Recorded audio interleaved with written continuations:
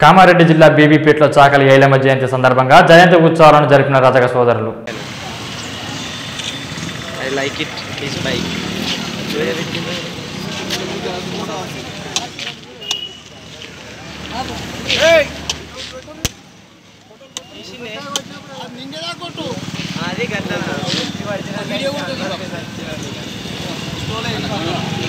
I like